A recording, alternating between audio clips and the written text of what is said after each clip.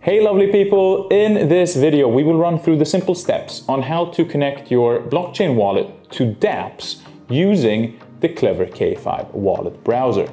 To begin, open the Klever app.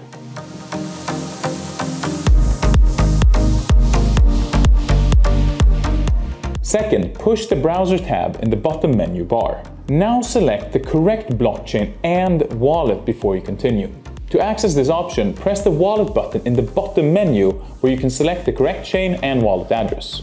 We will choose Klever Blockchain to access kleverscan.org, the explorer of Klever Chain, where you can do a flurry of transactions to connect to the blockchain. After selecting the correct chain and wallet, you can continue.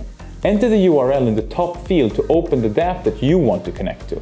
Depending on the dApp, it will either auto-connect or you will need to manually hit a connect wallet button to connect your wallet to the preferred dApp. On kleverscan.org, simply push the hamburger menu and click on Connect Your Wallet.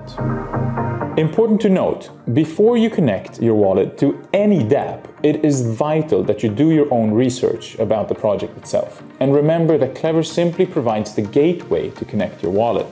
As always, you are responsible for what dApp you choose to interact with. Have an amazing day and stay safe out there.